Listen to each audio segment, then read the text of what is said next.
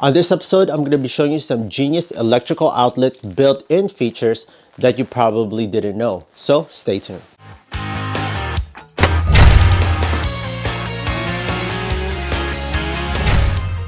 Welcome to Fix This House. If you're new to the channel, consider pressing the subscribe notification bell so you can always be in tune on DIYs, how-to videos, and product reviews that I do within this channel. Let's get to tip number one.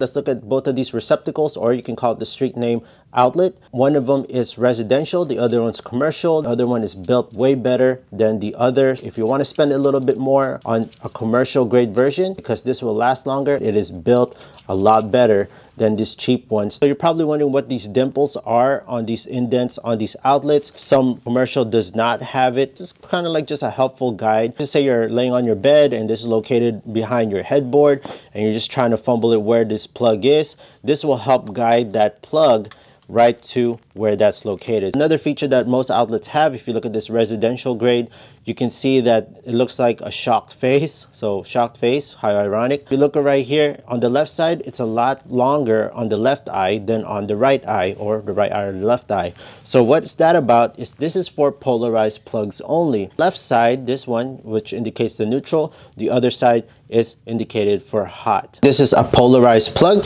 because you can't insert it the other way. It has to be indicated this way. With other non-polarized plug, either way will work.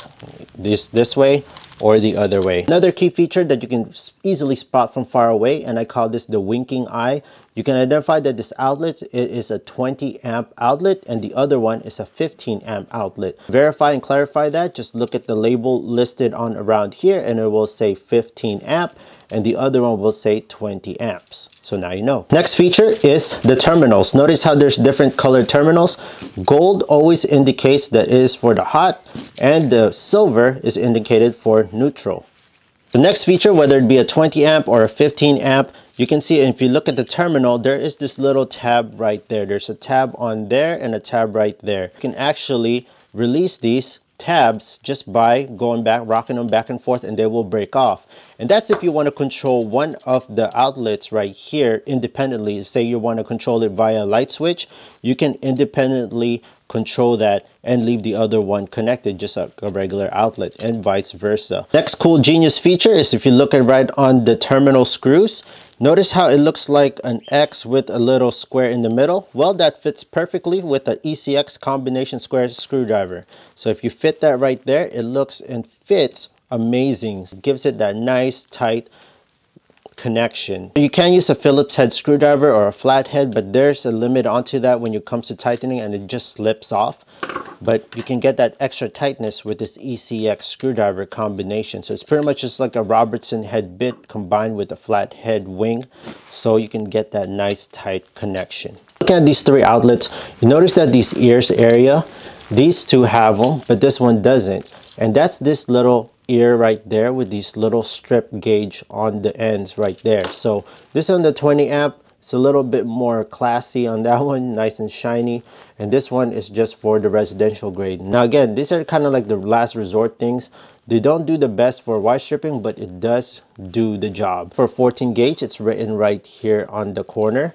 This one's for 12 gauge wire. 14 gauge wire, insert through right there give it a little bit of twist here and there and you can pretty much strip it just like that. A few twists and you can pull it out easily. Not all outlets have that feature like this one so it all depends on the brand and what type you get but overall that's a pretty sweet feature sorry to interrupt you right quick friends but if you're enjoying this video and you're finding it helpful please hit that big thumbs up down below and please share this video so we can help out more people with that being said let's get back to the video so here's another cool feature and again not all outlets have these if you look at the ground wire area you can see that there's a little hole right there. This one, this residential one does not have it for some reason. What you can do, it's kind of like a speed feature. You can put your wire through that hole and then you can just guide your ground wire right through there.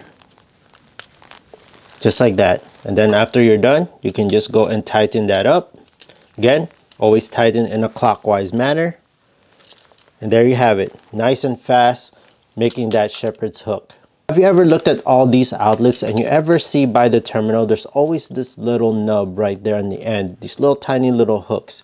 Well, the purpose of those is pretty much if you take your wire, you can easily accomplish a nice J hook. Place it right against there and this can make that nice J hook just like this.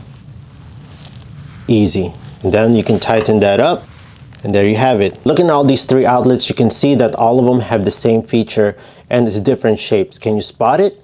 Well, if you did, that is the Mickey Mouse ears. There's these little detachable tabs on the corner. The reason for that is just in case that you want to go install it on a metal box like this one. This is not the right one because the other boxes have these little connectors for these.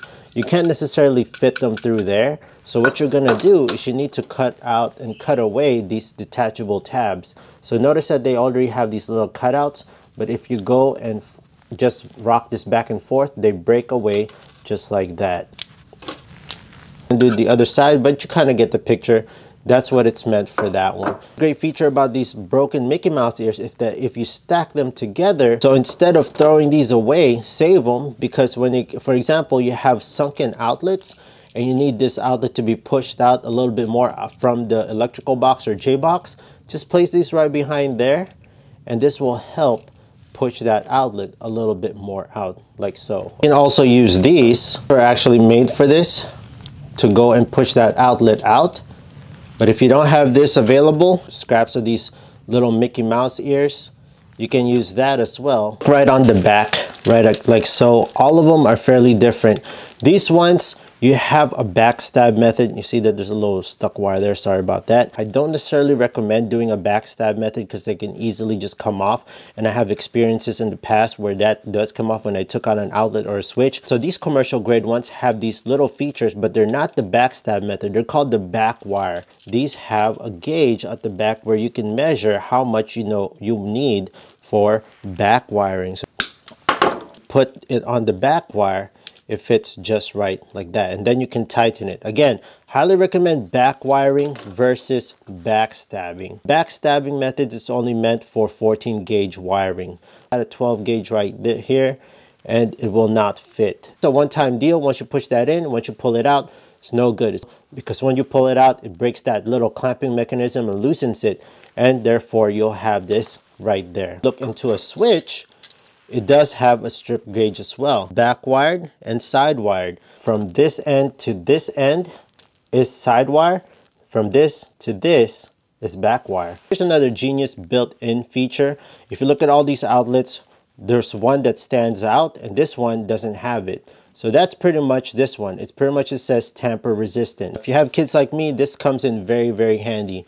Now, if you look right here, it's pretty much this little stopper right there which pretty much stops anything foreign objects from going through there. Now i have this this flat head and i'm trying to push it in there and it's not going all the way in because it is tamper resistant without having the correct plug okay? So i can't just push this in there. I go and use this for this I can easily insert this flathead right through. Now, Again, tamper resistant is the way to go for safety features. So I have wires like these for water resistance if you're going to install this on the on the wet areas. Again, they're not waterproof, they're just water resistant. So there you go. Also tamper resistant. Each one of these outlets have their own special features depending on how much you want to spend and where you're going to install it and what for which purpose. So there you have it friends. Those are some of the cool and genius built-in features for these electrical outlets. Now if I missed any of them, please leave it in the comment section down below and share it with the community. And again friends, if you found this video super helpful, please hit that big thumbs up, press the subscribe notification bell, and I'll see you friends on the next video.